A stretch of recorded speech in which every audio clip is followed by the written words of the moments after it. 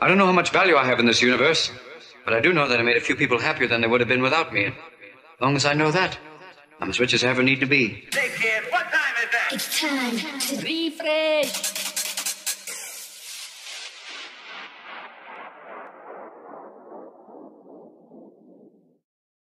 So back once again with another episode. This is a big 7-0, the big 70. He wanted a 69. I wanted the said, 69, like, it's Not- not happening there. Not on the record. yeah, we've got returning guest. We've got Big Al. Um, it is Big Al, by the way. He hasn't just like that last guest that was on hadn't eaten Big Al. It's just he's lost a lot of weight. I- that's a that's a nice backhanded compliment you've ever had. But yeah, um, how you doing? Good, mate, good. Returning guest, and you're in January, I think we recorded Yes. it of January. Episode 42. Episode forty-two. See, I only just because I looked at it on Spotify then, because I'm downloading, because I'm downloading Marco's episode to listen in the van tomorrow. So I big shout out told to it was a good episode and and to check it out because if you haven't checked it out already, go and check it out. If I go and check out the other sixty-nine episodes because they're all fire. To be fair, well, okay, seventy percent fire. there's there's somewhere I haven't really found my feet. uh.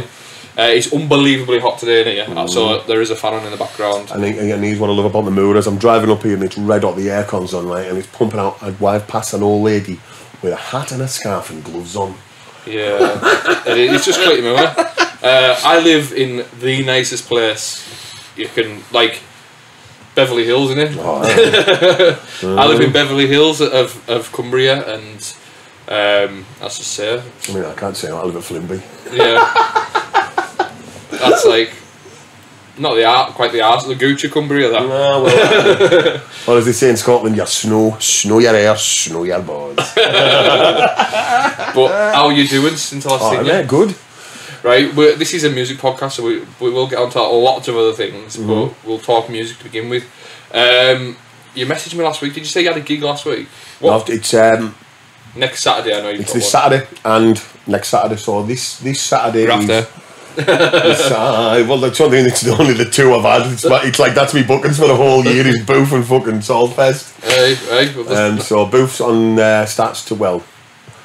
This will have been. It'll be tomorrow, but it'll be last Friday for you lot. yeah. And um, so it's Friday, Saturday at Copeland Athletic Stadium. If you went, tell us how amazing we were. Give it a big shout out because Dan, it's the last one Danny's doing.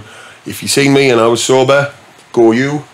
Um, and then when this comes out, it'll be Friday night and I'll be at Solfest. Then Okay, okay. Yeah, he's, he's Mm-hmm. well planned. Well planned. Right, we can talk about a couple of things because I've got a lot of different things running. Uh, Mm-hmm. I did a couple of booths. Uh, oh yeah, that was how I met the- you. Eh? That- Yeah, I met you. I met you. That was yeah. That was twenty. Oh man, 2014, 15. no, I met you uh, in 20, uh, 2014. I met your brother 20. Yeah, because it was at the booth. We were playing in that little. 2011, I think. We were playing that little ghetto blaster thing, weren't we? Yeah, the Ghetto Blaster yeah, it stay was, uh, good, yeah. awesome, um, honestly, for this area, the booth Mm-hmm. is a really, It's the last one he's ever doing as well. really good. Um, Good brand, good festival. yeah, they were doing festivals before every other person in the world Yeah. were. So it was, it was, a, it was a, Yeah, it was. Yeah, yeah. it was it, that was our local festival for a while. Yeah, like it was awesome as well. Um, so for those who don't know, it's Mighty Booth. It's um, they're more indie and rock, aren't they? But they do have like DJ tents with Mm-hmm. Yeah, uh, house and stuff like that. Yeah, there's well, there's bits of everything, isn't there? Mm-hmm. Um, I played my first one 2012, um, and that was down at the the rugby ground. Mm, it was. Did I you go there? I think so. I remember seeing you actually. I don't know if you. I think you were working. Were you working in Spoons at the time? 2012. No, no, not then. I No, no. might have done 2011. I apologise. Maybe 2011 I did. Maybe 2011. Or Yeah. maybe I was 2012. I was walking in Spoon. Anyways, I can Anyways, remember coming in and we, we went to Spoons beforehand. Um, and someone said, "Oh, it's Chrissy's brother," and I was like, "You you were rushing around, looking busy." Aye, always looking busy. It's like Uh, band, isn't it? and I didn't know even as a DJ or anything then. Um, and then a couple of years later, got. I think did you did we meet by you commenting on my on my trainers or did I comment on your trainers? Was I not wearing Superman trainers? Was I wearing Batman trainers? Oh no, yes, yes! you had the Super Batman ones and I had the Superman ones. Yeah. I think you still get them in Sports Direct and they're still only like twenty quid. Yeah. oh yeah. Class. Class. I've had honestly about four or five pairs of them. The thing is, you walk them off straight away. oh yeah, fucking Uh, right you do because they're the not. shit. well, they are, but they've got Superman and Batman on them, haven't they? Yeah. yeah. Uh, and I, I think one of us complimented the other one's shoot, uh, trainers and, uh, got chatted and that.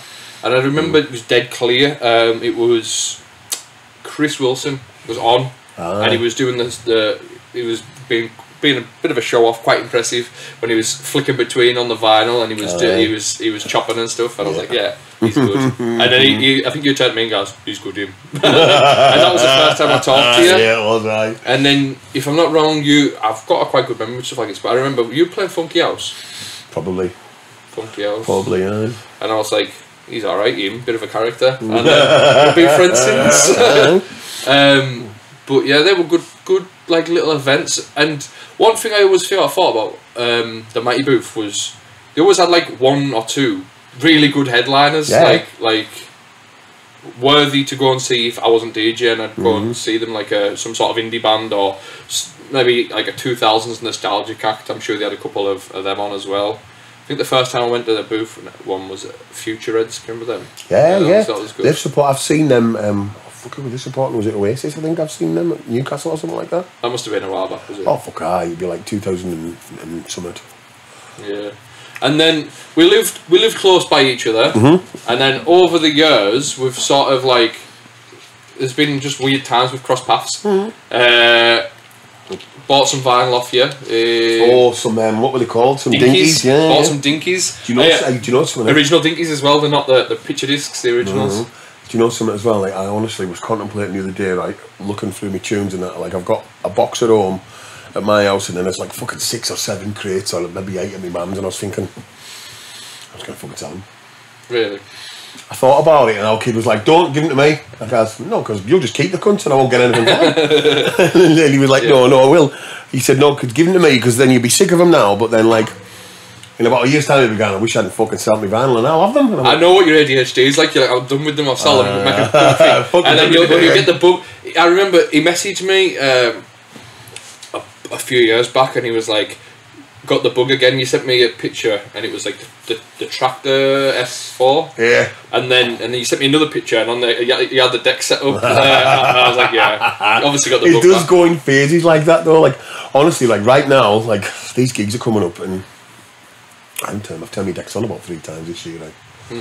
and I, and I went looking for new music. I went looking for new house that like I could find, and I could not find anything that I liked. That was What new. sort of stuff are you looking at? Just kind of like just house music generally. It doesn't need to be funky house. Just I'm just not finding anything that really turns me on that's new. So I, I like a lot of. I've, I've got loads of old stuff and loads of classics that I love, but. So if anybody's got anything that's amazing, send us it. Just fucking flick me switch, send it to us, and uh, I just, I just, I need, like, I need that, like, just that we, yeah. that we turn on. What was the last thing that you, you got that you thought this is good? Or Oh, who- who- Boot Jack, always. Ad, uh, Adriel left, big shout out to him. Uh, he is, without a doubt, possibly the. We talked about. I swear we spoke about him last time. He makes, he makes bootlegs and edits the way that I would if I could. Is it disco? Yeah. Yeah, I've heard his stuff. Yeah, yeah. So he gets like proper classic tunes that everyone knows and just adds a vibe. And that's that's the nicest way thing as well, man. He's not just like he's he, he works as well in like um he like writes for TV for the BBC and stuff like that as well. The guy's a proper artist. He's fucking cool as out. Like I'm gonna have to find him Mm-hmm. online. I didn't. I, I, like you mentioned last time. I didn't really. Not that I didn't take it on board, but I didn't. Um, I didn't think to go and check him out. But that's interesting. That when you got Wembley, anyway. So. we'll get into that. We'll get into that I'm next so weekend. Next weekend. cool. Right, this is my plan. As it stands, this is my plan. Right, Friday I've got a podcast here. Mm-hmm. Um, chill out with the missus and my little lad for the weekend. Um, Saturday, I'm, I think I'm going to venture through to Solfest. And Sunday we're going all in, baby. Wembley, eight thousand people. It's going to be insane.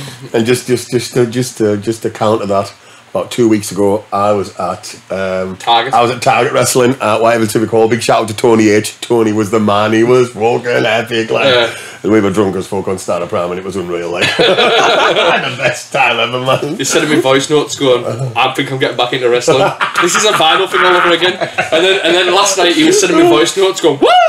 I was, oh, I was super drunk last night. Like, Oh yeah. I've been off, I've been on holiday this week, and uh, I'm back in tomorrow though. But um, oh yeah, Yeah, like- his dog's doing the woo. Oh no! Oh, I have to share, give a big shout out to Kizzy. Hi Kizzy, you are the best thing in the world ever, and I love you so so very much. And that was not forced or made me to do that at all. but yes, so we had we had a dog. We had a, a, a, a we had a dog, and it's uh, from uh, uh, um, part of her family. when it when it wants something, or it, it's a little cocker spaniel called Zelda. It's fucking beautiful, and I really want a dog at the moment, right? so again, this is probably like the vinyl thing. I want Yeah. a dog and then get sick of it. But when the dog wants something. something, or it needs something, or like it just it's just generally happy with something, it doesn't bag. It goes woo. so I call it Ric Flair dog. The Ric Flair woo class. Um, but yeah, so fuck me, I've lost track. Uh, where were we at? Oh, sorry. Yeah, we're talking about the the wrestling all in. Um, I'm going next weekend. Shout Bonley as well. Bon Lee's coming with me. Uh, got a little sidetrack story. We will get back into the music. But what happened was I bought my tickets when they were um, pre-sale, so you get them a little bit cheaper and you get decent seats. So I got we've got the floor tickets literally next to the ring. That's it's not that, ringside. It's one or two back. Uh, Fucking still have to- close enough to feel the sweat. yeah. Oh, you definitely. Um, enough to be on the TV, I reckon. I reckon, Oh, I reckon definitely, gonna- yeah, Um, anyways, so what had happened is got them 129 pounds each. I think that's really cheap for, right. for what it. Yeah, what too right it is, man. So me and my missus checked um, Ticketmaster to see how much Mm-hmm. the, t- the, these seats were going for. Now, bear in mind when I got them, they'd only they sold less than a thousand tickets. We were one of the first in, and there was big demand for them. The first day they sold 65,000 tickets. Um, and from there, it just climbed up and up and up. It's now the biggest paid wrestling event ever worldwide. Right, there's been bigger attendances, so it, I'm, I'm a proper nerd when it comes to statistics, especially with wrestling. Start all. So right, stats are ready? In in North Korea in 1993, I believe, or 1994, there was a wrestling biggest wrestling event ever to date, but it wasn't paid. So like, it, there were, basically the uh, Kim Jong Il forced all of his people to go to this big festival because he was a fan of wrestling, um, and there was 250,000 people at this arena hell, but they weren't paying customers, so technically it's not. There's been WrestleManias, um, but again, didn't sell 80,000 tickets. It sold, I believe, slightly less. I think the, the biggest attended one 78,000, but then they give away tickets and special deals and stuff. This is an event in which 80,000 tickets have been sold and it's Wembley Arena and it's going to be fucking amazing. Anyways, jealous. all, all these statistics I'm giving you is for a reason. I paid £129 for these tickets. Uh, got two. I really should have got four when you find out what the story is. And I checked for um, checked on Ticketmaster, and um, mine and Ben's ticket uh, is now selling for five thousand one hundred pounds each. So That would have paid you. That would have paid your car off your weekend and everything, man. it would have yeah, it would have been ah, great. Just been in, like buying four and been enough two of them, man. It's something like at that price. Well, Oh, there's another twist to the story. So we were my mates the other day, and my missus obviously had a little rant saying, "Have you seen this? He's bought these tickets, and he won't even let me sell them. Like, we, we could go on a couple of holidays for this." Like, right, okay, but I really want to live this moment. This will be such a special moment for me. Like, you don't care. You don't realize how much I care about wrestling, and this is going to be so good. And I was obviously passionate, and then she was like, next minute she turned the phone around to her mates and like, look at this, look at this, I could just press sell right now and it could go, I could go. I I was like, listen, you'll be you'll be staying in the studio, you won't be kicked out the house, you're not staying in my You're house. sleeping outside, lads. That's what it'll be, she'll be in the doghouse. just simply because, like, It's going to be class, huh? it's gonna be class. It is. uh, It is. If you had a real brain, like everyone else in the world, Mm-hmm. Yeah, you would, no, I wouldn't you be would selling them, like. you would no, but you would sell them and you'd make ten grand off two hundred quid. But That's a big return, that though, isn't it? It's a big re- big- big- big that's return. like that's I don't I couldn't even work the math out on that. Like, it's a big, big return.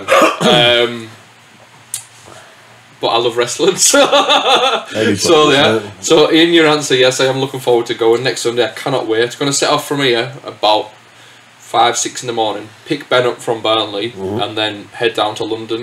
I think it starts at half three. So half three, and then it's going to be a long show because there's a big, big match card. Mm. I can't wait. Is it going to be on telly? Yeah, it's, it's on telly. Yeah, it on Um, telly on Sunday next week? Yeah, yeah, live. I'll finish. I'll be finished work by then. Oh, so yeah. So there's another good thing. It's Solfest, and I've agreed to work on this Sunday.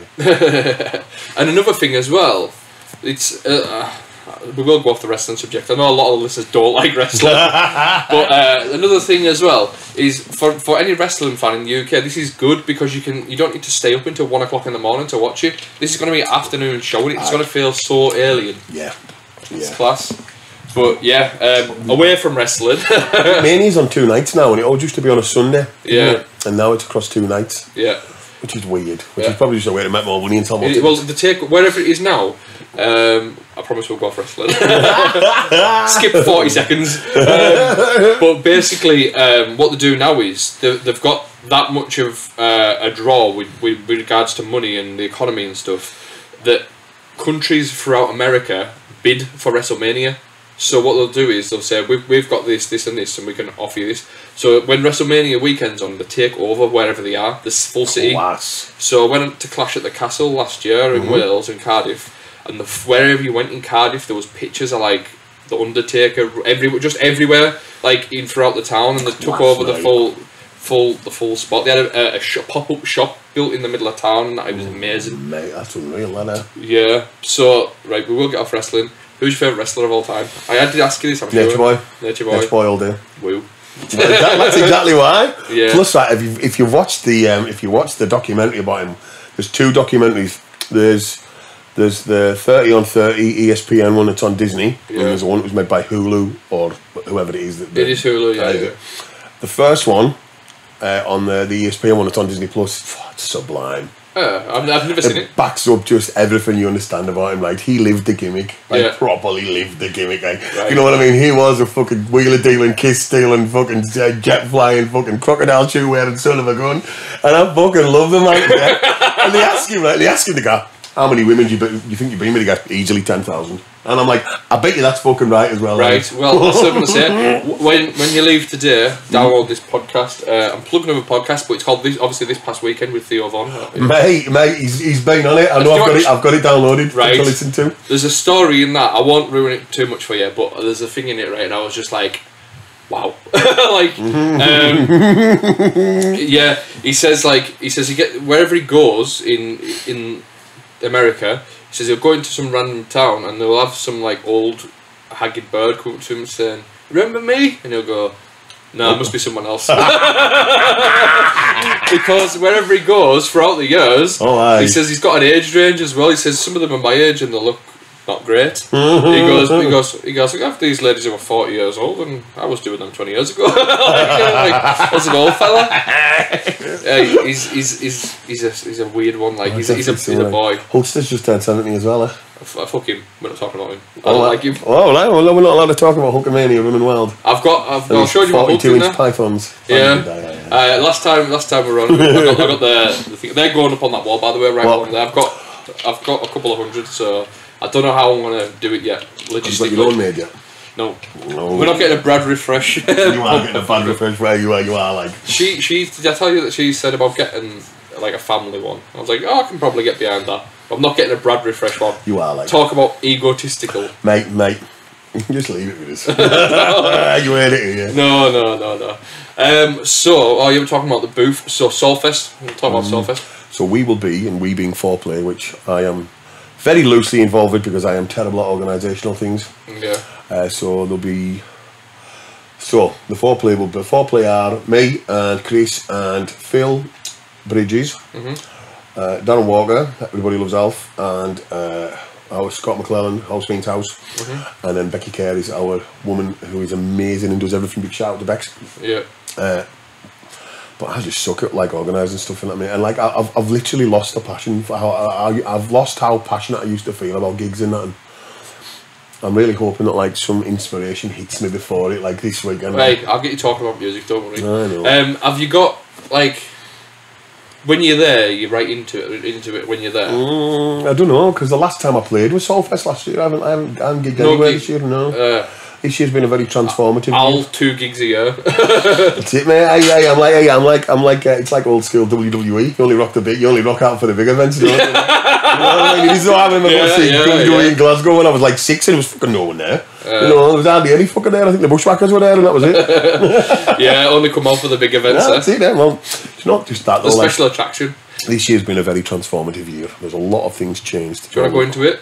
Fucking right, aye. On then. So there's a lot of good things changed. They, they diagnosed me with ADHD last year. They got I started on the medication this year, which I didn't take today, just so it'd be extra fucking awesome. and um, and I met a wonderful lady who now lives with me. Oh wow, I was in love. Oh mate, like you've no idea. I would do literally I've- anything for this woman. I'm not even joking. Uh, Off your voice messages alone last night, I was like, yeah, he's in love. mate, honestly, I, there's nothing I would not do for this woman, and I'll tell you all that.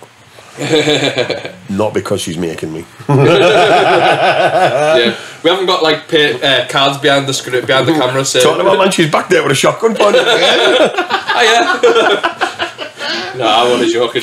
Um, I was, I did, I was giving her some stick last night when I was drunk. Like, she's, I'm gonna, I'm gonna talk about you loads. And she's you fucking better. uh, you tell, you can tell the story of uh, what you when you told your daughter what you're doing today. Aw. so, Aya J, big shout out to Jamie, Jamie Mearlocky.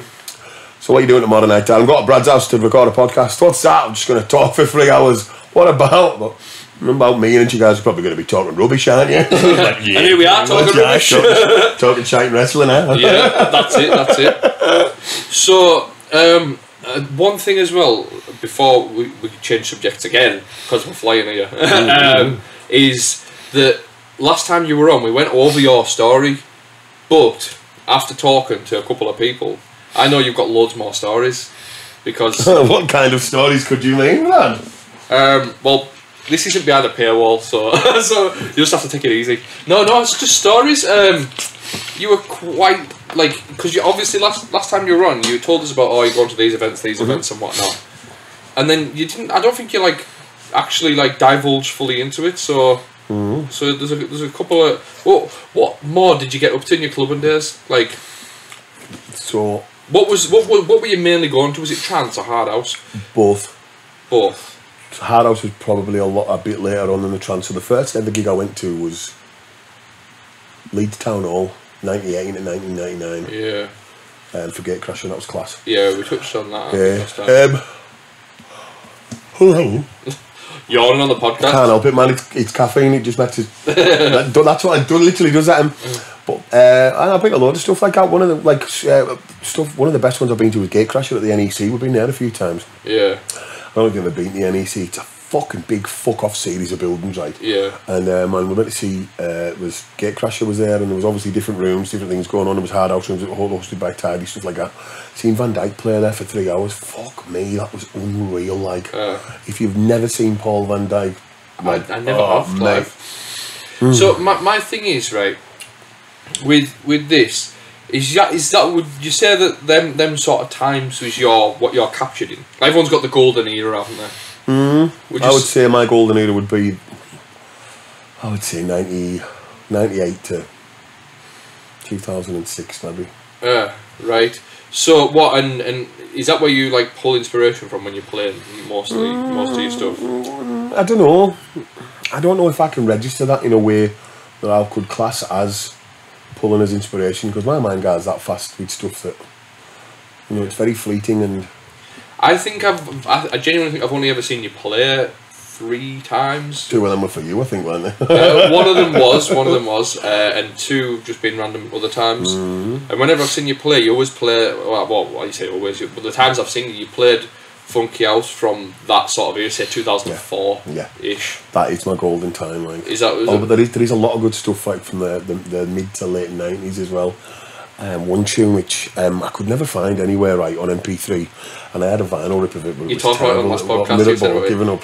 And you played it once. That was Uh, it that one your friend bought you or something? Was it? I don't know, Oh. but um, but but it's been re-released on another label, and I, and I bought it on Beatport the other day, and it's fucking it's, it's on a WAV, and I'm just I'm so grateful for that. Are you gonna play it Honestly. Solfest? Yeah, fucking right, I'm going to play it on fucking Saturday as well. Playing at tea time on Saturday as well. Like, so it's like that's like the, I like that time of the festival because everybody's had a good few drinks, Yeah. got warmed up in that man, just fucking getting People all good. remember them ones. Ah, like, exactly. like the head, you always see, especially with the booth, the headliners tend to go on later. Mm. Um, and like everyone's too wrecked by the end. Mm. Like I, I would never want to close a room. Like, it's happened a few times, and it's not something I want. I want to play. I want to be playing. Uh, If it's a, if it's a normal night in a club, right? Say club opens at nine, ten o'clock, something like that. yeah, Latest I want to play is midnight or one o'clock, because you just after that, it kind of drops off a bit for me. Do you know what I mean? I Tell wanna me be- about it. well, I, I, I play I play the last hour all the time. I want to play peak time because people go like, you know, people always think that like peak time is, is closing the room. I don't think it is. Peak times when everyone's still there. You've, you've got Yeah. people who only drink beer and people who do other party favours and they're all still there at that same time. yeah, yeah. It's like a cro- the crossover. Yeah, yeah, that's it. and then shortly after that, it drops off and starts emptying out because it's getting late now. But that for me is like peak and optimum time. Do you know what I mean? Absolutely. So I, I was worried, like, because I was saying then about what, what I was going to play and that, and I was like, "Phew, I've got any new tunes or this, that, and the other. And I'm thinking, I'm sick of playing these tunes. I was thinking, but nobody else is going to be sick of hearing you play them because you haven't played at all in the last fucking 12 months. Yeah, you'll be no, fine. the special. You could do what Hulk Hogan does, where he just turns up, big boot, leg drop, and do this, Big this- bootleg drop. right there. Yeah, that's it. Right, you could turn up, bash the same set out. Oh, mate. That's right, yeah, I just want that on a t shirt. Big boot, leg drop, out. Al, the big attraction. Aye, aye. But um, yeah, so do you know who I? I think I seen the set times. Um, does it start like midday or something like that? Uh, on Saturday, I think so, and I need to be there at 12 because I'm stage managing. Oh, right. So look at this. Is Oh, aye. going on now? No, What's going on? Basically, that means I'm just going to be there to make sure folk count and off at the right time. Yeah. Um, but so who's on and who's on that night? That's on before and after you. Uh, Like what? What are you taking over from? What style and what what you passing over to? Well, it'll all be house on Saturday. Um, I've no, I can't, honestly, mate, for the life of me, I cannot remember. But I do know that I'm on R5 till 7, and then I think Vinyl, so it's someone else, and then it's Vinyl Man, and then I think it's Phil and Squizzer who are closing. Right. So that'll be good, like. Phil's just, uh, Phil Bridges, big shout to Phil, he's just had one of his first tunes signed to a label as I've well. seen eh? that as well, Class, yeah, that, I've seen mate, that. really good. Phil, get your ass on here as well. Ah. I did reach out to him. Yeah, yeah. And I don't know if he's gonna. I don't know if he has got the time or what. I don't know. Come on here, you can promote your new track. Right, come on, Phil. Come on, Phil. Come, Yeah, come and but yeah, I've the seen that he uh, put a little post online, didn't he? That he got Mm. a thing. Well, well into him. I actually I haven't heard the track. I don't even know if it's out yet, but I'll definitely give it a listen. Mm. I like it a lot. I liked a lot of his uh, stuff that he was doing a few years ago. Like his mi- like, it was just his mixes. Like I don't know if, if Mm-hmm. he was produced or not, but is I started deep diving when I heard of one of his mixes a few years back, where it was like really techie. Uh, Yeah. uh, he went really techie for a Yeah, bit. I think it's. I think I'm not sure. I'm not even sure what kind of what style of track is. To be fair with you, Do you know? I'm a terrible friend like that. Have you heard it? Uh, no, no, fuck. Mm. I'm just chuffed for the man. He's putting work in and he's paying off. Do you know what I mean? Class. If you can't celebrate and be So- grateful for your friends and the things that they have, then you are a terrible person. It's that simple. Yeah. eh? There's a lot of jealousy. Oh, mate. Right. Uh, I've, just, I've, I've, I've had little tiny conversations with you about it, and just I, I just boggles my mind. How could you be asked to like? well, one thing I do like about what you lot do, and it's quite admirable, when you do your, your four player DJs thing, and I like, it's like you're, you're in it together. Although you, you, like you've just admitted there, you said I'm not motivated at the minute. They'll carry you, and then when someone else is not motivated, Mm-hmm. you might be in the mood and carry them. And it's like not, not carry them, but You know what I mean? Do you know the right pick, you word- pick up on the energy from them, don't Yeah, you? yeah, yeah, It's yeah. just that the thing that's bothering us is it's just I really desperately want to find some new music that I like, but and this is again and this is again a proper ADHD thing. I'll be like, yep, going home tonight, finish work, gonna go and have a look at some tunes, get on, forgot the beatport. Look at the first three tracks in the top 100 or whatever genre I'm looking at. If I don't like them, the phone goes down. Stop looking. yeah, you don't have the, the Because if that's, ah, but if that's the top three, do you know what I mean? Plus, like, tune chopping isn't like tune chopping, like, and it's proper, like, and it's going to sound old and crap, and I don't give a fuck because I'm old and crap. but, like, going to a shop and digging through records and that, man, and, like, pulling out white label, and you've got no idea what's on it, and then you find out it's abs- something absolutely fucking sublime. Yeah. And it's worth the 12 quid or whatever it is it was going to cost you, do you know what I mean? I still vinyl shop. Um, big shout on Mrs. who puts up with it because and big yeah, big- shout to the, the delivery driver who now they've got a stash. I don't know. I might say it on the pod, on the pod, but they've got a stash in my garden now where, where they know where to put the vinyl. If, if it looks like a twelve inch record, they know where to put it. So, so it's weatherproofed. Class, mate. I like this. But I, I, I still collect them. And I'll be honest with you, I haven't been on my decks like turntables for three years, maybe. Oh man, I think I was on mine last year. Um, Yeah. I play the- records and stuff. It's still, it, I only buy stuff now that I can't get digitally converted or sample stuff or whatever. Um, and I still get a couple of deliveries a week. Um, and I'm still when I go when I go to Manchester, Liverpool, anywhere like that, I always find the record shops as well. They're harder to find nowadays. But for me, I was like the when when I was younger, looking in record shops. I caught this real back end of it. I, I actually caught a golden era, so to say, because it was when everyone was f- selling them to record shops, all the collections. Ah, So I was getting all the yeah, good yeah, stuff. yeah, yeah. I did dirt cheap as well. Um, that's that's when I caught. Um, That's from idiots like me who go, I'm going to sell these Yeah. I'm exactly. We couldn't sell them now. and then you work out, you sold them fifty pence each, and Uh-huh. and then he's me getting a steal for like £2.50. Like I've never been like on Discogs or out like that, but like I, I know I've got like a big shout to Millsy for my was it my fucking thirtieth or something like that. Or my no, it was my twenty fifth. I think Millsy gave me Vorsprung Dyk Technik on vinyl, right? Uh-huh. Which is the only time and place that you will find that I've so far found. The Paul Van Dyk mix of Binary Finary that's a full side of a vinyl because when it came out on Positiva, it was the B side at the back. Yeah. And like, ah, it's just a fucking great album. Like. Like, really Shout. Millsy as well. Millsy's Like, going to come back on. Uh, he's, he's got. A, I told you off pod, but we're going to be. Uh, I've got a couple more chairs there. We're going to do like a group conversation, and I think that'll be good Can crack. I come in when he's? Yeah, yeah, oh, yeah. mate, that'll be unreal. Yeah. Big shout to Millsy, I do love Mills. Uh, I haven't asked him yet, but um, I'll get on I know I know somebody who's passionate. You obviously know him, Chop. Obviously, Mm-hmm. I'm gonna ask Chop to come on as well because I think uh, Yes. Big- oh, mate, I get me in for that, eh? Get Yeah. me in for that, please, I want to do like a little. They haven't even, I haven't even asked them. Quite, uh, well, Millsy knows about it, but I haven't even asked these people yet. And I seen I seen Chop at work, and I thought, you know what, that'd be a fucking good episode. That. Okay. Um, although some people might not know who he is, or or very little will, I think it'll be. Yes. Oh, Yeah. mate, that, yeah. Because especially for the, the specific thing that we- you, you spoke about, of how you want it to run. Yeah. But it's just a conversation. It's just a long form conversation with some beers and that. Yeah, all characters. Oh, shall aye, we? absolutely, mate. Yeah, um, That'd be unreal, man. class. Um, I'm giving my plans away live on pod. Fucking hell. We'll just bleep that bit out. I'll tell you now. Wait, see, I bet you there's somebody else who does it before me because there's loads of. Oh, another thing. Um, this isn't a negative thing. I've got a question to ask you in a minute. Yeah, yeah, yeah. Um, thought. I'm just, my thought. My thought process is kicking in. Um, I've seen in the last three months lots of podcasts popping up, and I've seen them myself, and I'm getting a lot of the passionate fans messaging me of the pod saying, "Look at this, they're they're copying you, they're copying you." Right, I just want to address it actually on on here. I am all for it because although there will be people who's doing it, I think mine's different to everyone else's in a way which is different. As in, it's much more chilled out or whatnot, and and to be honest, we, we talk shit like we said. Like even his daughter said, "You're just going to go and talk rubbish for like a couple hours." That's all we do.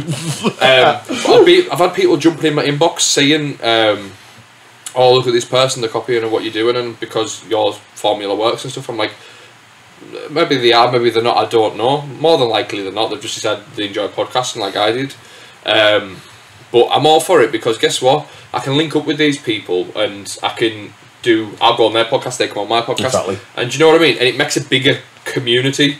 Yep. Like, I, I know we're nowhere near even that level, but Joe Rogan, like, and Joe Rogan got the likes of Theo Von, the Yeah, likes yeah. of like uh, Bill Burr, uh, and all like, like people. one of my favourite He's, fucking he's good, people in the but world. it, it elevated his podcast to, to a new level. Mm-hmm. And it's like I'm all for it. If people want to sit here and talk shit about music, it gives me something to listen to. 'cause I Yeah, don't yeah, like yeah. sound of my own voice. So when I'm interviewing people, I'm like, oh, I yeah. But um, yes, I'm all for it. So for podcasts, big shout out to um, thing as well, uh, Jay Viper. Uh, Culture 303. He's on in demand radio as well. He's been getting some top guests on, and he, he's same. He's in the same similar industry to me. He does hardcore, but um, and he's had some top guests on. So go and check their podcast out as well. I think that's really good. Excellent, mate. Um, and there is a couple of others. Uh, Felix Leiter's podcast. Um, he does. Uh, he's done. Oh, I forgot. I feel so bad now. Sorry, Loose Cast. It's called. Uh, yes, it is. I remember gonna, now. Gonna plug it. Um, they've they've only been going a couple of weeks and stuff, but it they've, they've put on a good presentation. It looks the it looks the part. and they're getting some top guests on as well. My first foray into promotion was with Ben. Was it Uh, yeah, we used to we on a night called Soda out the back room of Newton. right? So And what I've still, was that? I was pro- proper funky handbag kind of style house. I've still got the fucking one of the signs uh, that what was it made. called? It was called Soda. Soda. Yep. Yeah, yeah, it was awesome, man. It was all uh, it was all it was all just black and white, the logo and stuff, man. And uh, I've, I've, I've got a I've got a box with some flyers in as well. Get this out. I'll post it on the in the group page, and we can, we can have a little. Oh, aye. and then uh, and then shortly after that, because of the success of that, me and Ben Bogue, shout out to Bogue, we spoke about one five five last time. eh? Yeah. the one five five logo was just a one, a five, and a five, and a thing that I made on Microsoft Paint, in like two thousand and three. Bogue is coming on, by the way. Um, yeah, it. Uh, we've got we've we've talked about it. I think a lot of people from Cumbria will enjoy his episode. Um, Bogue's a fucking legend, like. yeah, and once you get him talking as well, I think it'll be a good crack. But yeah, um, I did say I had a question for you. Um, Mm-hmm. I've, I've gone a, a long way around this, but um, it's only because it's a nag that's been getting me when people's been messaging about the other podcasts. I support it fully, but my question to you is, what i- what is? I've said this to everyone as well who's coming on now. It's a Mm-hmm, new sort of thing I've got going. What is it for you that's a bit of um, uh, what would you say, pet peeve? What about the industry? What industry? Music or? Music, yeah. So, so, for instance, I've gave mine on a couple episodes ago. Mine was a pet peeve is, for instance, um, Mar- Marco said booking agents dealing with booking agents when he's promoting. He, he absolutely despises that. Um, mine was a positive that turned to a negative. I've got like my my happy place is when you turn up and there's a working monitor and mixer that, that's usable. Aye. Like Yeah. so, do you get what I mean? Oh, mate, So if. I'm putting you in, in, in the on the spot now, what's no, a, no. what's a pet peeve of yours as a as a DJ or as being involved in this industry? So only from my early days of promotion, it wasn't a pet peeve as such. Some couple of my friends who would, um, so whenever we put a night on, I would try and get as many of my mates on as I could. Um, so a couple of them rocked up who shall remain nameless, but they probably know who they are if they're watching this. Right. And we were running a trance night in the Miriam Fusion, and uh, I was putting my mates on. They were playing Prog House in the back room. Right. It's like, right, so you're in this room, mate. Here's your mixer. Keep it to 11 and 11 and 11. You know, don't blow it. So you'll blow the, you'll blow the amp and that. Yeah. But I like it at 12. I said, you're not in your fucking bedroom now, son. so yeah, so you know, you know what I mean. When you're sitting at 12 with your, with your gains and everything. Yeah. So we just had to keep them at a particular level because we'd blown out that amp in that little back room of fusion many, many, many times. eh? Yeah. So it wasn't a peeve as such. It's just you know, you, those are things that you need to learn to roll with when you when you start doing it commercially. Do you know what I mean? Yeah. Like like like you said, then if you can rock up and stuff works, it's magic. But I've played in some fucking shitholes.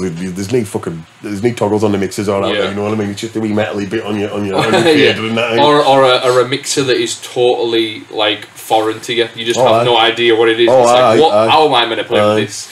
Yeah, and that's something that like I, I still can't figure out. Right, rotary mixers. Right.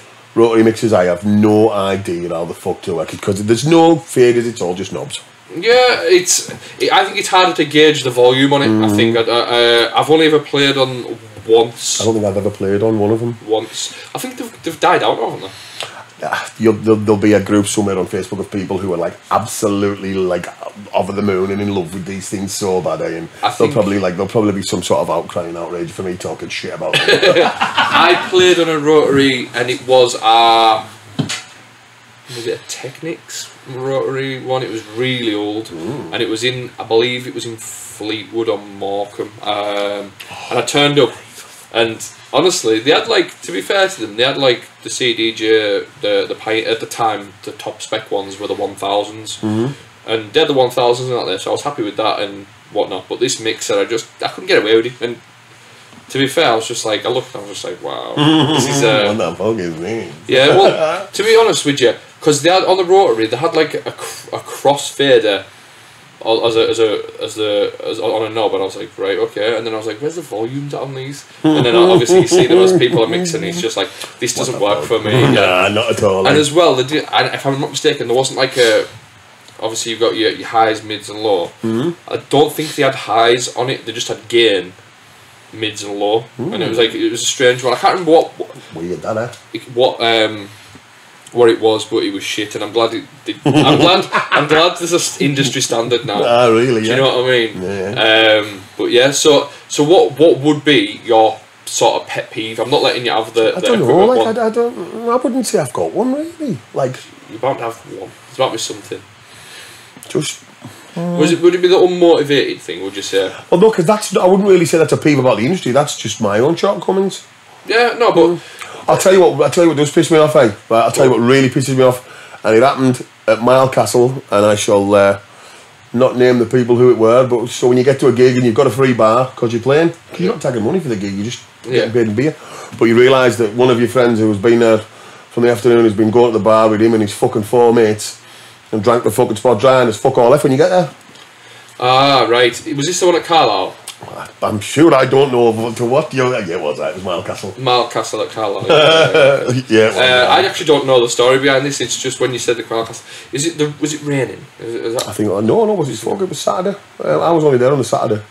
I remember. I can remember just seeing pictures and it was. I thought it was I can remember as well that I'd uh, I'd set off like to work. I was working in the tax office and I was on a half day Saturday and I'd fucking sat up the night before and sorted all my tunes and that out on the USB. Gone to work, got to work and realised I'd left the fucking USB room, so I had to drive all the way back to Big Rig, then all the way to Carlisle. Great, fantastic. Hey, I've done that. Hey, right. I've also learned since that point as well that I tech two, Yeah. and, and sometimes will be backed up on a memory card as well. When we leave here, I'll show you. I'll show you what my DJ bag looks like. Mine is disgusting. Um, I've got literally. I mean, big shout, big shout to John G as well. I was in Carlisle and we were playing in um, what was uh, what's it called? House of Vodka. Do you know that one? Uh, it's on. It's called Below now, but I don't know what it was called back then. Um, oh, you go underneath, anyways, underneath, and Oh, I did. what, what, it's on Botchergate, Nick, just Well, up no front, then. o- opposite the border Rambler. Anyways, you, you go down underneath, and it's proper like underground venue, really, really good venue. I like it. It's a bit. I got lost in the first time I went in because there's like f- corridors everywhere. Anyways, I was to get into the DJ booth. It's like uh, arched over a brick wall, and obviously me being a bit tall, I fuck, I banged my head and dropped my bag on the floor, but I'm it opened and my USBs just went everywhere. I've got a bag of USBs because I've got I've got I've got what, what is basically the fear of. Do you know when you plug USB on and It's gonna go. Uh, uh. yeah, it just goes no. Like the, I plugged well, I plugged one in the other week uh, when I was playing at Sank, and it was on the new three thousands. But I don't use Rekordbox or No. like that, so I just copy and paste onto it and plugged it in. It was like nothing on it, and I was like, shit, fuck, right. So then I went to went through things. And I just had to pull out what I could play on my others. Luckily, I had a, a, an exact replica of the one I was wanting to use, and I had uh, all my bits on there. But that's a pet peeve when you turn up and it says it says there's no music on your thing. Yeah, I would take that as well. I need to notice one as well. It's like since it's got since it's got easier to go to a gig, right? Because going to a gig in the day was like a fucking Mission. record box, man. Record boxes are heavy as fuck. Do you know what I mean? Even if it's only a little skinny one, it's still heavier than carrying two USBs, right? And since it's got easier for that, it's also made it easier to fuck it up. Yeah. Um, And another thing as well, when when I've played vinyl at a handful of gigs, because obviously I say I caught the back end of the vinyl era, um, probably even past the vinyl era. I was just doing it for like vinyl only nights and Yeah, stuff. Um, turn up right, playing your set, and see if you're staying for a couple of drinks or, or, or socialising. Like just making sure your box is okay. It's not something you can just easily just Aye, yeah. do you know what I mean? Yeah. It's there. Aye, you can't you just don't want to in go missing. Yeah, you can't just Yeah. put it in your pocket and just have a crack with people. Aye. You've just you've literally got to like put it somewhere where you think it's gonna be safe. So yeah, big up the USBs now. do you know what I mean? Yeah, fucking hell. I tell you Plus, what- also, you, could, you could always get, like, back in the day, you could always get in, could always get your mate in because he was carrying your box. Yeah, there's that as well. But another thing as well was uh, I was getting me to carry my USBs now like that. just, just walking. Nah. Uh, another thing as well, which a lot of people don't touch on, but I think it was a really good era, was C- the, C- the CD era. Just when you've played a tune and you're ratcheting through, you think it's not. I know you can look through the menu and that, but when you when you go through and you're like, this could work, and then you pull this out, yeah, yeah, yeah. It's Just whacking- yeah, yeah. I miss burning CDs, although it's a pain in the ass. Do you know something like Al Garbage on that, right? I can remember being sat, like, Soda was on a Saturday night every night in Fusion. Yeah. Well, originally it was on a Friday night, but that's another story for another tale. Big shout out to Felix Leiter for that. And uh, I can remember like starting at fucking. I'd be on at ten o'clock when it opened, and like in the back room opened, and I'd be there at fucking nine forty eight upstairs in the Royal Oak where we lived, fucking burning like four more tunes on. Fucking Yeah, yeah, I ended up never playing the cunts. it's a, it's a pain, it was a pain burning CDs, but having them just there in front of you where it's all readily available and I mean if you see my CD wallet you'll know what I mean but I'm really organised. That was Oh man. like Rekordbox like i know Rekordbox is like everyone can be organized and i don't use it i, can't, I don't have the time Mm-hmm. but when it comes to cds i was just like everything was just perfect what do you think mine was like? Oh, ter- I don't. I, I imagine you didn't put the CDs back in the holders, did you? Well, yeah, sometimes, but isn't it that bit at the front? Because it was, it was always a case logic case, wasn't it? 'Cause it was by far the best fucking CD wallet around, the, right? the little net. Yeah, the little, the, the, the, um, at the front it was the little net, but there was also the bit that had like you could just put eight in at the front. Yeah. Was, so there'd always be like two or three deep in them. I knew that it would be like that. no, yeah, yeah, I bet- I bet if you will- if you will have a look at my CD, well, I've still got it. I've got the hard house one, and um, the hard house one was only a little one though. Yeah. But my, my house, my funk, my week in week out funky house one was uh, was the great big one with like you know you can see eight at a time. Oh Yeah. mate, I did, I, I did love that. Aye, aye. It was a good era, and I think it goes un- unnoticed as well. Uh, the thing is, though, like when, when people started mixing on CDs, they're like, fucking hell, man, mixing on CDs, this won't last, will it? You know, you know what I mean? Fucking vinyl and all that, and all these people twining about it. eh? the good thing for me, right, I think is because I produce music as well. I don't need to sit there and want like an acetate pressed up or out like that for. Oh, I've just finished this tune. I want to play it tonight. Rush round and get something pressed up. Like you could just burn it onto a CD and there you go. Test it with you. I seen somebody talking about it. I'm not sure. I think it might have been Ian Redman from Ultrabeat talking about it, saying when they didn't have a press for Pretty Green Eyes. Right. I don't. I can't remember where I've heard this. Could be on another podcast. I think no, it wasn't. It was on In Demand. Uh, in Demand Radio. It was. It was um, uh, Trip Down Memory Lane with Rob Kane and uh, Ian Redman, and they sit there and talk about the, the, the best records. Basically, can you remember when you said to me, "Oh, when you do the podcast, you should what you should do is when you're talking about a certain tune, just put it on the background and stuff like that." They were doing that as they were doing it, Oh, but nice. we can't do this because of YouTube's shit. Well, no, YouTube's really good. Don't demonetize me. But YouTube, YouTube, with regards to playing music, it, it always flags it up and mutes bits. I tried that on episode one, it didn't work.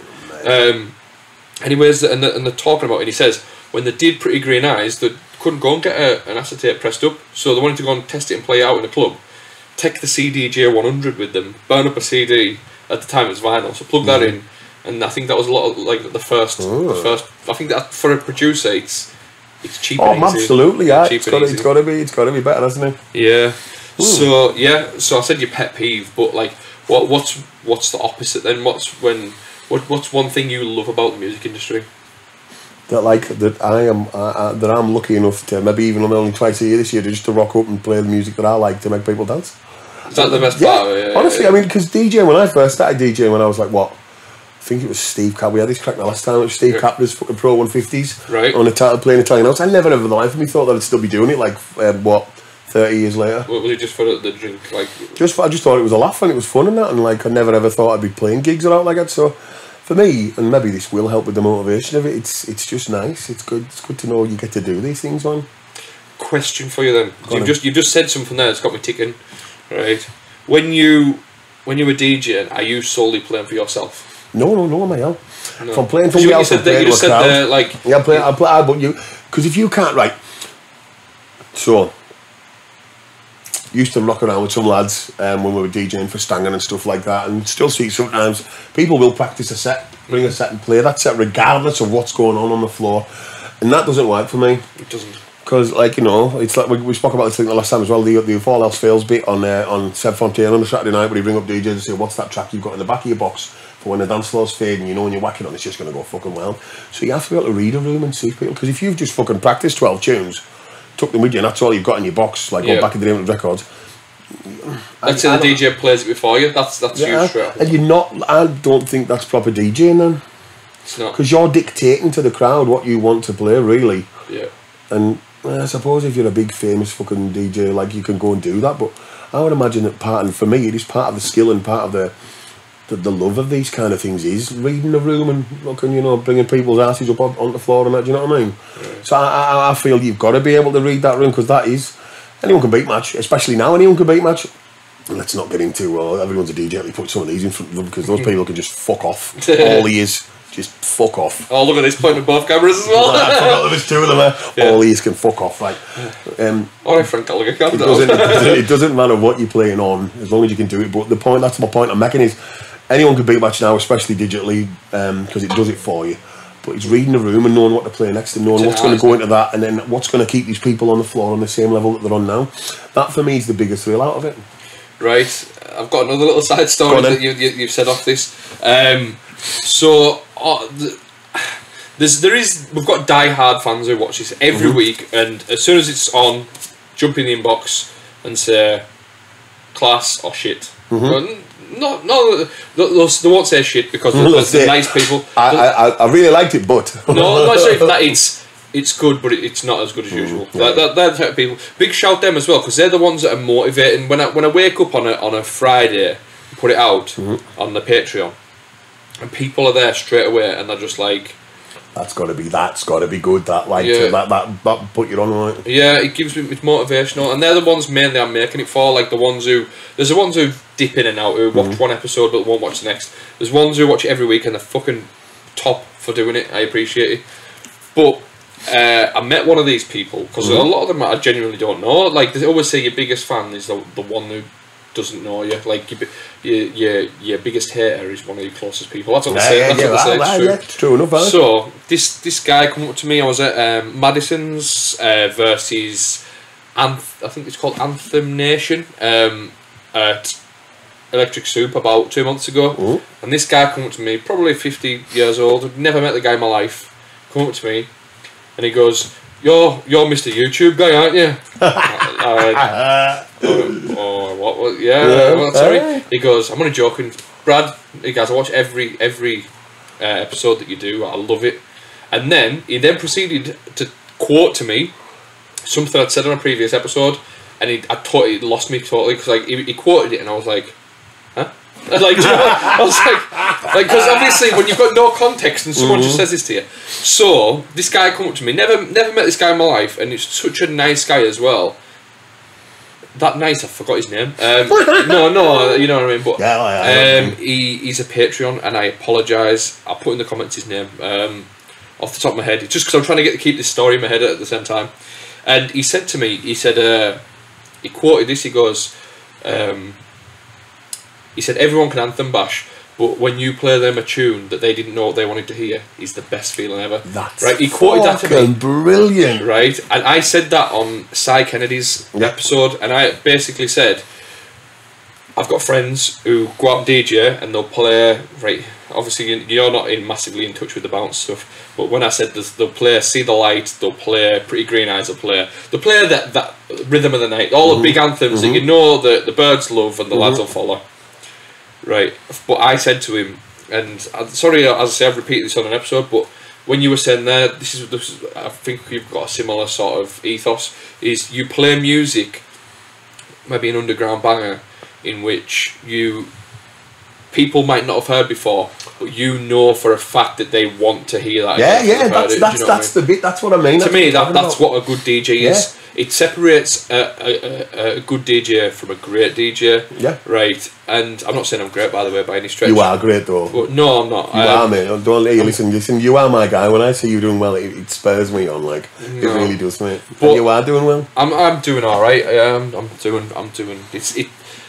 It's going well, and I'll- there's another point I'll get into in a minute. That's hand, hand in hand with this, uh, and basically, it, it's like for me, when you when you're DJing, it's like I'll pull out something that's 20 years old if I'm playing a set of like stuff that's new, and someone will go, "Fucking hell, what's that?" And I'll be like, "This is 20 years old. This isn't even Right, new." Like, do you know what I mean? yeah, and I'm yeah. like, "This is fuck. This is a banger in it," and it's probably a B side no one's heard of. Yeah, yeah. But do you know when you just know something's gonna work? Yeah. And to me, there's a there's a lot of them tunes out there that um, are just sitting there getting wasted in history because they've either been forgotten about or they never got the, the big exposure because the A side was bigger back in Yeah. the day or whatever. And the amount of times when you see this and you're like, go right when you if you're a vinyl collector, just go and get get your favorite records. This is this is how I discovered this. I can't remember who told me. Right, go and get your favorite records.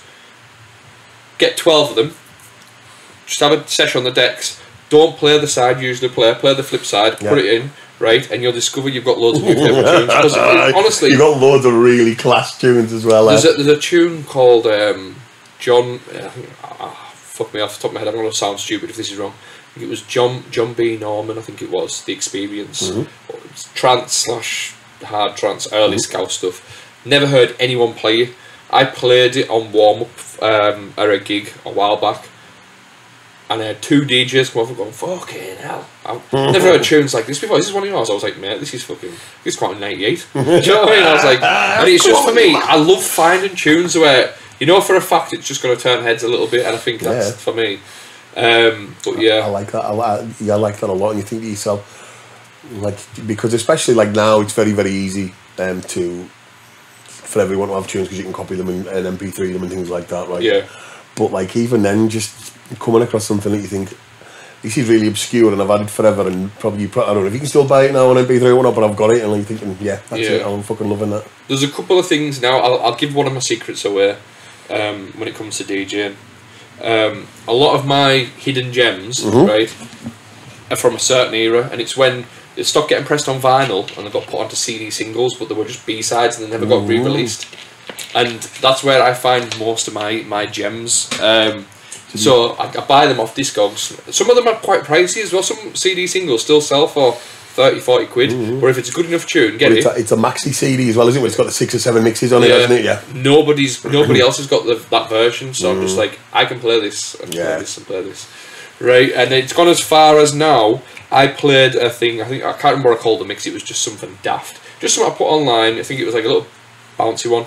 And on one of the mixes, I drop, I drop a kick drum in from the next track coming in. Next minute, I hear this DJ playing it, and they've ripped my mix, took that part of it, and extended it either end. And I was just like, wow. yeah. I'll tell you he's off pod as well because I know you know him. So that's oh wow, that's even better then. Yeah. I know who it is. Do you? Yeah. You can probably guess. Yeah, I reckon I know who it is. like. right, well, anyways. uh, and it's not even my tune, so I can't be pissed off about it. So Mm-hmm. what they've done is, and basically, like 16 beats before I was going to mix it, I drop in like I drop in the kick drum for the next tune for two. And I thought, oh, maybe it's just the way he's mixed it. I listened back to it and I'm like, no, it's the exact same kick drum from the next tune. That what's That the he's not odds? playing. Yeah, yeah, yeah, it's So I was not like- there now. So- So that's. I mean, I paid twenty pounds for that, that CD to get that B side Oh, single. okay, you cheeky no. little bastard. no, that's a, that's a good one. Um, but yeah, do, you I, think, do you think they know who they are when we're talking about them right now? I know they watch it. Ah, so they know who they are and they know what tune it is and they know what they're talking about because you know you did it. ah, you bastards. Yeah. Um, the thing is, uh, the person who is is, uh, they've never. I don't want to sound bad, but they just do their own thing. They don't bother anyone. So that's why I'm not bothered. If it was somebody with a big name and they're like, they've just done that, and I'll be like, I'll be like, fuck you, stealing my limelight. That's it though. Like, but look at that again. Like you've inspired someone to not only like to not only really want to play that tune that you've discovered, which is again is a good thing. Yeah. If you can inspire them and think, well, I want to play that because it's dead dead good. You can't gatekeep stuff like that, but you've inspired them to not only do that, but to whip it off your mix Yeah. and extend it either end so they can play it themselves. Yeah. Because they can't get it. So that's got to be a good feeling and all, mate. Um, yeah, it's all right. I That's got to be a good bit of energy that you're putting out into the world, man, mate. I'll, I, I do try and look for tunes that uh, everyone else doesn't play. Anyways, with Rabbit on, I want to get into um, some questions if that's okay. Oh, go on then. Um, before we we've been rabbiting on for a while, haven't we? That'll be alright, eh? Oh, cheeky hour there. but yeah, um, so we've got a couple of questions. Nice one to those reaching out um, with questions as well. You can uh, ask questions um, um, on Instagram at It's Time to Riffresh. Just send over. It could be anything at all. And when I say anything, listen to some of these. do you know what I mean? I, do you know something? Right. I, I purposely. Um, they're not even that bad, but yeah. I didn't ask you when, we came, when you came on. What did you have for tea last night? Fuck. Uh, oh. Uh, so I had uh, marinated some chicken thighs. I deboned and skinned some chicken thighs, and I stripped all the tendons and off them because chicken thighs. Is, by the way, if you like chicken breast, then something wrong with you. It's the worst bit of meat on the chicken. I like chicken breast, by the way. Ah, but chicken thighs are better. So anyway, stuff. so I cut them into medallions. Uh, I marinated them for a little while in some spices. I fried off some onions and some garlic and some chilies, and I took some chilies off my wee chili plant that Kizzy bought me. That's on the window ledge. I've never, ever, ever just picked food off of a thing and chopped it and cooked it there and then. It was the weirdest feeling in the world. Uh, Um, and uh, it was mostly like salt. It was kind of like salt and pepper chickeny. thing with noodles. Jamie Oliver, eat your heart out. No, I was also I was also like fucking five cans and two whiskies in by this point. Okay, man. okay, I was okay. proper on the ball, man. okay, class, class. I love, I love the fact of um, people coming here and they're so passionate about food. That does it for me. mate, hey, mate, we've discussed many, many times the possibilities that we could utilise this studio for Oh yeah, food. yeah, yeah. We've got um, a couple of Patreon bits coming up that I think you'll like. We are going to do them, by the way. As I say, right, we it's are, just eh? been getting this finished that's been the problem. Well, I was going to try and just get the one half finished, and then just we would record some of the ideas afterwards. But, yeah. This it'll be special, put it that way. uh, so these are questions, um, games from your childhood. Um, right, someone put this on Instagram and replied to the questions thing. Um, I'm not sure what your question is, but it got me intrigued. It, it just says, I put, uh, what's your games from your childhood? And they put PS1, Spider Man, uh, GTA, which was the best verse. So, I mean, I think they put, when they put version and they've run out of text. Um, big shout, to whoever that is, because I haven't written it down, but yeah. So, like, what computer games or just game games? Computer Because- games. Go, go Oh, on. but because so the other week I was at work and uh, the girls were off. Kizzy had the lassies, um, her daughter and mine, Yeah. Jamie and Esme, and um, so we've got a, we've got a little we've got a little family WhatsApp group, and I put in the WhatsApp group because I was at work. I was out in the van. I was like, right, you got thirty pound. I want you to go and buy some games to play tonight. Ball games. Yeah, yeah, yeah. And they came Oh. on, mate. And they came on with Game of Life. Fucking brilliant game, Game, mate. yeah. Absolutely fucking brilliant. Game of Life's the one with the families, isn't and it? fucking spinny wheel and Yeah, that. yeah, yeah. It was Class class, man. game. I played that back in the I- I- we've- there's a version of my mum's like the original version, and it's got like it's like a topographical map. There's wee plastic bits that you stick Yeah, in yeah, the yeah. now, but this one doesn't. It's just all flat now. But Hey, board games have gone shit when they do digital. Who uses digital money on Monopoly? That's another shout. What? Yeah, no, terrible, terrible. She got get me to try and play it. How are you supposed to steal if it's digital money? I know. Just type it in on the thing. No. How are you supposed to steal if it's Yeah, digital? but Game of Life, original Game of Life with all the humps. That's Yeah, the one yeah, I remember. And you have like little cars, and they've got like family. You can have a mecha family. Oh yeah, yeah. And so now because we're super fucking woke, um, doesn't matter what colour you are. Okay. You don't have to get married, and you can choose to have a child or not. It's your call. Oh, I'm But, uh, not a but- fan. But was it fun? It was fucking brilliant, mate. Like that and um, Uno. Uno's fucking Underrated as fuck. mate, mate, mate, spectacular game. but we've got Uno Flip, so there's, I don't know there's what two- so it's just normal Uno, like, but there's another sided card. So there's one side, and then you can see the other side when everyone's holding them up and that. Hmm. And then if you put place a flip card down, you've got to turn your hand over, turn the deck over. Turn the bottom card over. Oh, like that. What a twist. All I mean, seven quid. You know what I mean? Class. And, and the thing is, right, and this is the thing that a lot of people don't realise about about kids and stuff like that, right? Kids don't need your fucking money. You Yeah. know, like you could buy your kid everything in the world that it wanted, and you would have a very unhappy child if you don't spend fucking time with them. Time. Time's a big thing. Mm. Yeah. Like Yeah. I've, I've, I like I've only got the one that's well, that's mine, and Jay's got like two brothers when she lives with her mum, Mm-hmm. and uh, like I just I, I'm I try to make sure that whenever she's with me, there is a large portion of, if not all of my time devoted to just being me and her.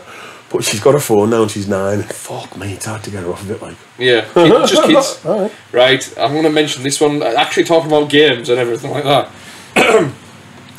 right, my little lad's only four, so he missed the Pokemon Go boom. Can you remember that? Mm-hmm. Right. Well, he's downloaded Pokemon Go, right, and now he's got every single member of my family playing Pokemon Go, right. and in the morning, he messages messages saying, "Send me Stardust or whatever it is." I don't know. I don't play it, so I refuse to sign up because I know for a fact I've got an addictive personality, so I end up playing it all the time.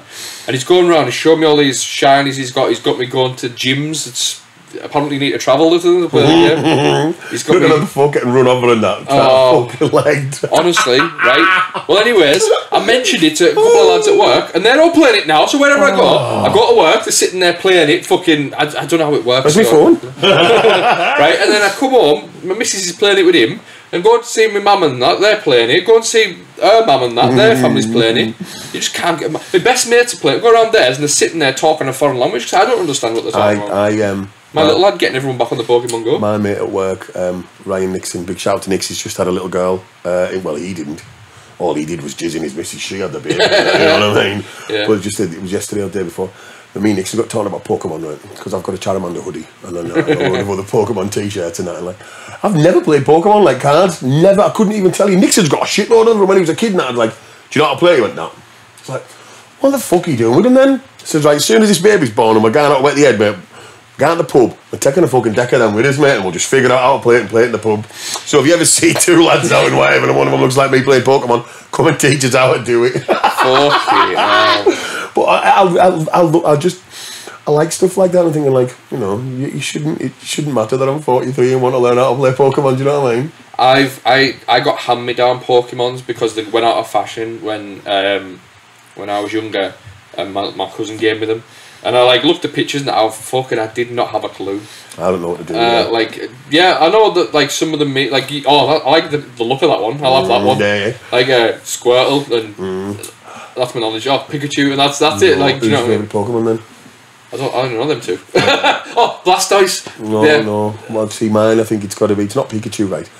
It's maybe Charizard or Charmander when it's bigger, or is it Charmander when it's littler? Can't Hey, remember. well, there's another thing. My my little lad's own. It's, it's, it's his first, what I'd say, fascination, right? And he's he knows he's he's like me, like I, what I'm like with music, and he's there going right. There was the only I didn't know this. This might be wrong, but mm-hmm. I'm just telling you that these are the facts that he's told me.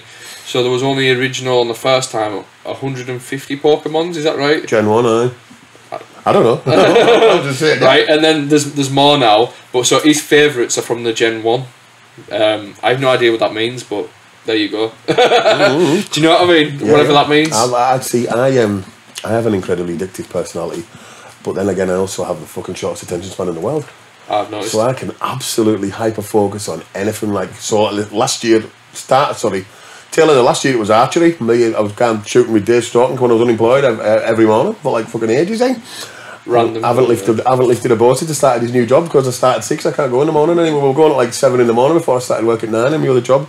Class. And, and now, I, now I don't. I haven't. No, but, but I spent fucking seventy quid on a fucking bow. And, uh, no, uh, sorry, I tell her like eighty quid on a bow for me and a bow for Jay. Chase is still in the fucking house. It hasn't even been opened. and I'm thinking, is it really a good idea? You were saying that about like focusing that. I, as you can, pro- as listeners probably know, my head goes around and around. I've got constantly bashing questions out, and I've only just noticed this, and I feel kind of embarrassed. But there's a fucking ball sack right there. it looks like a ball sack, doesn't it? I was just, I tilted my head down. I, I feel like double take on it. And I, do you know, and, and yes. you were talking to me there, and all I could think about was the ball sack. Oh man. I'm gonna have to do something with that. We'll make it into a, a penis or something. But yeah, um, I was listening to your conversation, but during you say your, your attention, yeah, I didn't lose my I'm, attention, I'm just thinking about bollocks now. so it's back to the norm. but yeah, so we'll sort of get on to the next question because I've totally lost my train of thought after looking at that set of balls. Um, that someone's going to comment on that now, saying ball sack, probably for every single uh, episode next coming up. Um, sorry, so back to the original question then. What was your your favourite um, childhood game? I would say game of life, like for board games, but for No, computer computer games. games. Oh, What was your What was your computer growing up? Uh, in 1985, my dad came home, or it was 80, no, it'd be 86. And I came home with an Amstrad CPC 464. Never been on it, but I've still got it. I mean, Oh, mum's yeah. eh? Fucking cassettes. Weird, the weird that like just that noise and the reading of that fucking head and the could load this game on. So um, it was a game on that called Bruce Lee, right? Oh, and you were just a skinny little yellow Bruce Lee man with black pants on, you know, like a the yellow top and black pants thing, and he was, and then there was a big fat green sumo wrestler and a little Yeah. black ninja, and it was just a platform scroller, like Right, just you okay. know, you, you worked on one page and then the other. That was my favourite game on there. big nostalgia. Oh yeah, yeah, yeah. But then when I got a Mega Drive, Mm-hmm. which was like my first foray into games consoles, oh mate, it would have to be, it would have to be Sonic the Hedgehog, Yeah. like the first one, man. Oh, it was unreal. And like there was the two cheats as well. There was like the uh, I had I had one of them, but it, just because it was old, it wasn't. I, it wasn't of my time. Yeah, I yeah. missed it. I got it when when everyone started buying. Was it the sixty four or the Super Nintendo? Mm-hmm. I don't know. Um, so I got that as like a hand me down, and um, have you still got it? uh, no, I don't. That's long gone. Uh, I've moved Sold- I house. sold mine to David Mullins. Uh, Wish I hadn't though. Um, but my, my first console was the 64. Um, So that's what I was going to say before. I've downloaded um, Again, Ryan Nixon, big shout to Ryan. Oh, I like to call him Brian Dixon. Brian Dixon! if he was going to be, um, Nixon's a great guy. He's, he's a lovely fella. He's a skinny, weak fella, curly hair and a beard. He works in our uh, works in our packing department, right? Yeah. And if he was going to be a, uh, uh, in a fight or in some sort of wrestling match, I would have to be the person who announces him. Okay. It's your favourite. Well, it's your favourite bog brush and mine. Boy, Dixon! and I'll just shout it across the factory, and he'll just be fucking laughing. He calls me Nigel. but I downloaded an emulator on my phone. So what does that do? Oh, an emulator basically is just it's just a program, so you can download ROMs of, of fucking Game Boy games and Mega Drive games and stuff like that, and play them on your phone. It's very weird to play it touch screeny with no kind of feedback on the buttons, but get them down, like. So I've started playing Pokemon. Uh, was it Pokemon Pikachu edition or something like that on Game Boy Advance? Oh right, I see. Yeah, yeah. Mm, oh, okay. alright, it's. There's a, there's a couple of like cross-platform things that do that now. Uh, for the 64, GoldenEye. Did you ever play oh, that? mate, That was mate, all day long, right? I have vivid and fucking amazing memories of. It was the first console that had four controllers as well, without having to buy anything to stick them in. Yeah. Just being and like and Nintendo were fucking great at making like four player, properly good four player games. GoldenEye was one of the best. Yeah, that caused that caused a lot of fights that in, in my household. Oh, anyways, being like- stoned as fuck. Sorry, man. I was like 15, 16, playing four player GoldenEye. Eh? Four player GoldenEye and Golden Guns was the fucking one. Like I played uh, my my earliest memories. This is how I got into wrestling as well. It was it was GoldenEye, and I played. I think it was was it No Mercy '99 or it was like it was like a wrestling game. It was Yeah, so yeah, yeah. bad, but looking back on it, it was so much fun. And Mario Kart 64 as well. Class, Oh, class, class. Uh, uh, uh, the battle uh, instead of the races, the battle games. You know, you just you shooting around a level and you've got you just fighting to see you can. Uh, you got yeah, all the yeah, I know what you're about. Yeah, uh, yeah, what it's is that called? Was it just I think it was versus battle. Just battle, battle mode or something. Yeah, it's yeah, called, yeah. eh? it? You Um, can still do it. Me and Jay play it on the Switch. Like, and she got a Switch for Christmas one year, a couple of years ago. yeah. And uh, do you know what, man? Don't know why, but like it's like, and I've watched a lot of documentaries about, about a lot lately about like there's one called High Score. There's another one called Coin Up and stuff like that, talking about games consoles and the history of games. And uh, Nintendo just do it differently. Like It's it's, a diff- like yeah. they're not asked. They're not competing. They don't want to be Xbox. They don't want to be PlayStation. Just do their own thing. They do their own thing, and like they, they, they, they sometimes will get a bit off kilter. Like there was things like the, the Virtual Boy. Did you ever see that in the eighties? Was a red thing. Yeah. Sat on your eye, like your like you put your eyes into it, and then things like um, like the Wii U. That wasn't a great hit either. Yeah. But that moved it to the Switch, didn't it? Because it moved it from because the Wii U you could play on your telly, Yeah. but you could also play it on the remote. Right. Because the remote had a screen in it.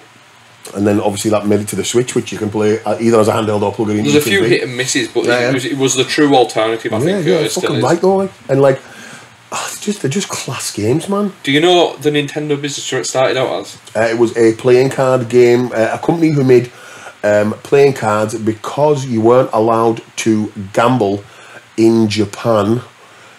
So they made these games like a game of chance kind of playing cards, I believe, in like 1921 or And where was it at? Do you know? Oh, um, uh, I'll save you the hassle. It was in a brothel. I, thought you wanted to like. I thought you were going to tell me which town it was in, but no, I, did, I didn't it was know. in a brothel. Yeah, I was like, uh, what? What a long way to came really, yeah. from like them activities, Uh-huh. right? Uh, so, second part of this question is, Mm-hmm. what's your favourite version of GTA? What was your favourite GTA? Oh.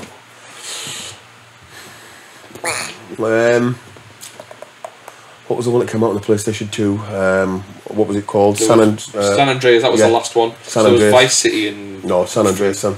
San Andreas was unbelievably good because it was next generation. You could like swim. You could fucking. It was, Yeah, it was yeah. just like Yeah, yeah, yeah. there was so much extra you could do. Oh, but saying that, like, Vice City. I've the original, like when you were looking down on top of it, like what was that on? Uh, London was that? Was that? I know the original. Well, no, the original just Grand Theft Auto. When you were looking down, it wasn't a first person, or you're looking behind them. You were just looking down. of. PlayStation One, I believe. Maybe, and that was all right because it was just crazy. Yeah, you didn't know you didn't. You just go around and kill folk and run folk over and that. But yeah, definitely San I Andreas. remember when Grand Theft Auto 3 came out and it was like proper e- evolutionary because it was like it was a 3D guy Yeah, yeah. in this world. It's like wow, look at the detail on this car. Yeah, look, look, watch me kill this hooker. yeah. Watch we drag this guy out of, his, out of the car and stamp on his head. Um, a question for uh, no, sorry. We'll, what we'll do now is we'll do throwback attack. Did we do throwback attack when I did last? Did it with you? Mm, I don't know, did we? Probably, I can't remember. So, it, uh, so uh, you've just got to answer these as quick as you can. Yup. The first thing that comes to your head. Throwback attack is uh, throwback attack with Big Al. Let's do this. Um, what song do you think of when you think back to primary school? Wheels on a bus go round and round. Really? wow. Let's do this. Uh, what song do you think back when you think back to secondary school? Uh, oh, uh, Wonderwall Oasis. Oh, yes. Class. Uh, what song do you think of when you think of getting your first set of decks? Me first what? Set of decks. Oh, um, oh, uh, Trousers Enthusiast, Sweet Release, Trousers Enthusiast, Full On Mix, Red Label, Like, on Delirious. check it out. Class. Belter tune. Um, yeah. Was that one one of your first records as well? Was it by any chance? No. Okay. Um, what song do you think of when you think back to your first days of going out? Hmm. Come on, I think quick off the mark. Oh, Yeah. fuck knows. Um, uh, I don't know. Um, I, would- I, I would say Fallen Angel, Paul Van Dyk. Class, class, class. And what song do you think of when you think back to your golden era? Oh, uh, Peyton Higher Place, Eric Kupper's, Eric Kupper's gospel vocal remix. Uh, released on Head Candy, by Head Candy, for Head Candy. I don't know Belt and tune, track, eh? but yeah, we'll go with that. To a high. That's enough of that. Last one. What is your karaoke song? Oh, that's life, Frank Sinatra, all day long. All the, uh, oh, That's oh, yeah. life. And you can sing as well. That's what all the Yeah. people say. Yeah, we got on this one last time. It's, he, he established that he could actually sing. Um, he had, he had singing lessons. Uh, yeah, huh? it was uh, Um, Dan Hanley like. Right, and what we're going to do is we're going to sort of tie it up today. What we're going to do, you, well, you obviously done your last meal last time you came, didn't you? So we're going to do Flopper Bop because Flopper Bop's kind of a new feature that we've, we've, we've brought in. So this is Flopper Bop with Big Al and uh, beautiful South Perfect Ten Flopper Bop. Flop. It's a bop for me. I think I love it. Eh, eh, It's alright. It's overplayed, isn't it? Yeah, But, yeah, yeah. Yeah, it's yeah, always go on go on um, Room Five and Oliver Cheatham make love. Oh, bop all day long, like. absolutely. It reminds me of living in Newcastle and to like in bar 38. It is a good tune. Uh, absolute class tune. Shapeshifters Lola's theme. Mate, absolutely bop all day long. Vocal or club mix. And also, do you know when you play some tunes that go so well together you never want to play them any other way? Mm. And Full Intention. Now, we had the fucking joy and pleasure of being able to uh, interview Lado from whose name I've forgotten now, uh, from Full Intention. uh, anyway, but uh, that, uh, Darji and Full Intention, what do you want from me? Right, and then Lawless, Lawless thing into that. Oh, it just, oh, it gives me goosebumps thinking about it. You have to send me a mix if you. Oh, I will do, I will do, lad, I will do. Um, I'll- right, I I'll- don't know if you know this one, but you might do because obviously you're a bit of a hard house head. Mm-hmm. Uh, Beatbusters, uh, Omo Komova. Don't know. I'd say a Bop. It's more, but it's it's a bouncy hard house tune. I would say- I would it say was. Bop. It's from early two thousands. I've probably heard it then. Yeah. Uh, I'll show you when we get off here. If you're going to say it's a bop, by the way. um, and last one for today, Paul Johnson, Get Down. Yeah, is a- yeah, yeah, this is a polarizing tune because it is such a fucking good tune.